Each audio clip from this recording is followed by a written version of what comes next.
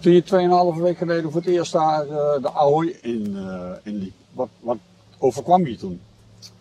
Nou, wat mij echt overkwam was, uh, het eerste wat me opviel is dat je, je kijkt om je heen, je kijkt naar boven. Ja? Nou, volgens mij hangen er, hingen er duizend lampen in het dak. Ze hebben nog moeten meten of de hoeveelheid lampen die ze in het dak wilden hangen of het dak van Ahoy dat überhaupt wel aankomt. Dat was het eerste wat opviel. Zoveel lampen, zoveel licht dat er, dat, dat er in die venue hing. Maar vervolgens loop je door en het is een prachtige zaal met een prachtig podium en de green room die er direct aan vast zit, waar de artiesten komen te zitten. dat viel gelijk op. Dat was, het was mindblowing. Het was zo het was overweldigend. Dit had je nog niet eerder meegemaakt? Ik heb het nog niet eerder op deze schaal meegemaakt. Nee, zeker niet.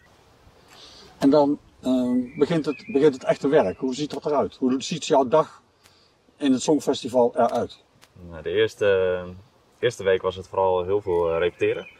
Dus uh, ik doe zelf deed ik niet mee met, met de, de optredens. Ik deed alleen mee met het deel van de green room. Um, de puntentelling, de voting.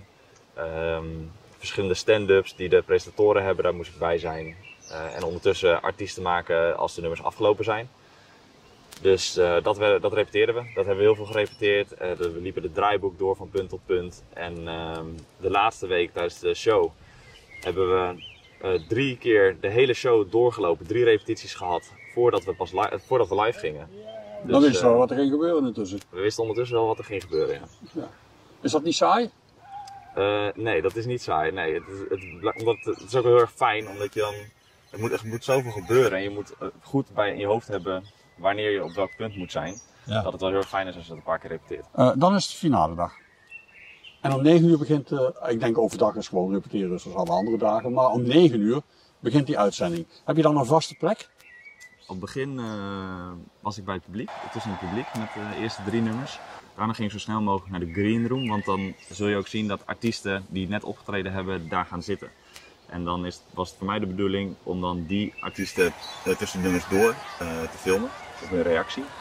Uh, en bij de voting, dan kwamen er meerdere cameramensen naar de green room toe en dan hadden we allemaal ons eigen eilandje. En elke keer werden dus de 12 punten gegeven. En dan als die 12 punten gegeven werden aan een land dat in, bij jouw eilandje zat, um, dan had jij dat shot van dat, van dat, eiland, van dat land. En uh, op een gegeven moment vallen natuurlijk landen af, landen hebben hun punten gehad.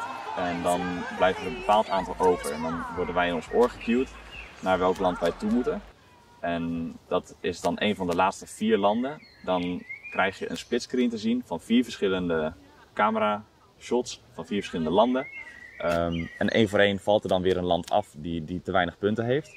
Dus dan wordt het uh, eerst weer drie camera's en dan uh, later heb je nog maar twee camera's over. En uh, nou, ik had geluk, want ik stond bij het winnende land, bij Italië. Dus ja. ik was tot het laatste moment was ik erbij. En op het moment dat Italië won, was, was dat mijn shot te zien. Dus 165 een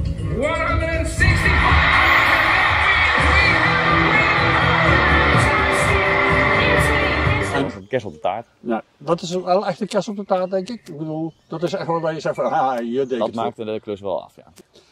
Jij zei, wij worden gecued. Betekent dat dat wij dan in spanning zitten te wachten op welk land nu 12 punten krijgt, er alleen maar voor nodig is om jullie op de plek te krijgen? Uh, nee, dat is niet helemaal waar. Oh. Wij krijgen wel al redelijk vroeg te horen welk land de 12 punten gaat krijgen. Ja. Dus dat is dan weer als het in jouw eilandje gebeurt, dan heb je eigenlijk best wel de tijd uh, om daar naartoe te lopen. En ondertussen doen al die landen die doen ook een soort van verhaaltje of een dingetje. Of, uh, dus het duurt best wel even voordat ze pas op het punt komen om Ja. te zeggen welk land die 12 punten gaat krijgen. Nou, dan staan wij er al lang. Wat was nou het allermooiste? Dat Italië won. En dat ik daarbij was.